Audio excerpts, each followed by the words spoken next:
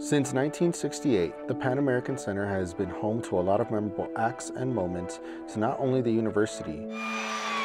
Johnny McCants at midcourt for the win. He got it! But to the entire Las Cruces community. Since its 50th anniversary in 2018, the Pan Am has had numerous changes to its infrastructure. Yeah, you know, the fact of the matter is the Pan Am is over 50 years old. In 2018, we celebrated the 50th anniversary, and you know, even though the, bone, the bones of the building and it's very clean and taken care of, 50 years, you know, requires some updates. So you've seen us do anything from new scorers tables on the floor, a new floor, uh, video board, the center hung. Um, you've seen suites come online.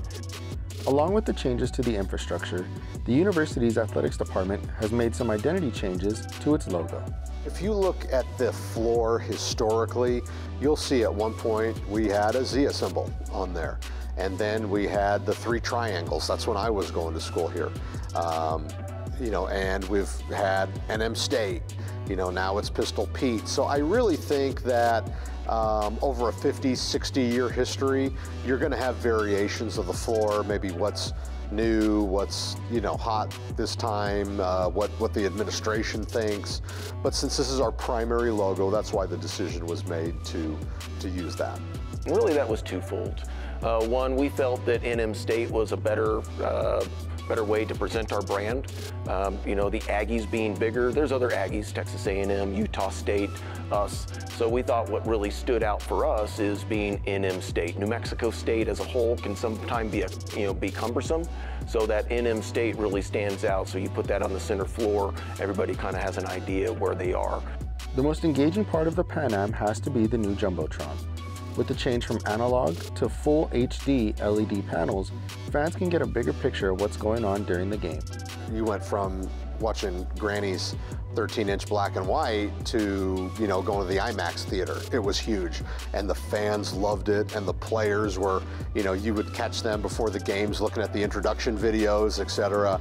So I think it has really lent to in-game entertainment. You know, now in the old days, you know, uh, Aggie Vision does a great job and, you know, we would put different people on cameras, whether it's guys flexing or playing the bongos or the dance cam or whatever, you can just audibly hear the crowd because the picture is so much clearer and uh, it's just a totally different experience. So I'm really pleased with that addition.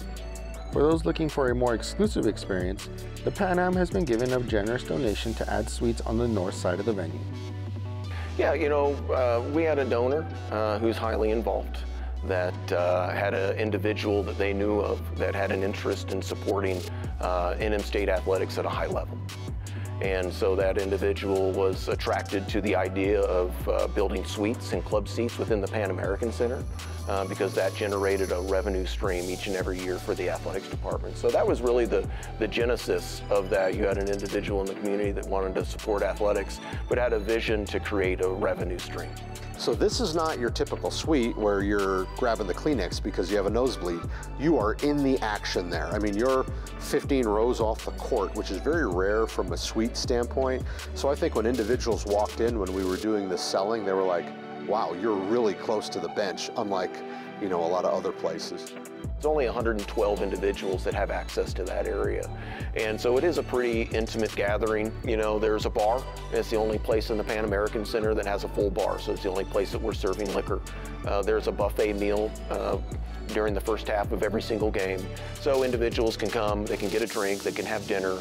Um, we see that uh, being utilized by business owners, and so really it's it's just taking what's happening already in the stands and maybe magnifying it a little bit, uh, just because uh, it, it becomes a little bit more of a social scene. So if you're looking for a good time or a sweet time, it's always a fun time at the Pan Am. With Aggie Vision, I'm Rito Rodriguez.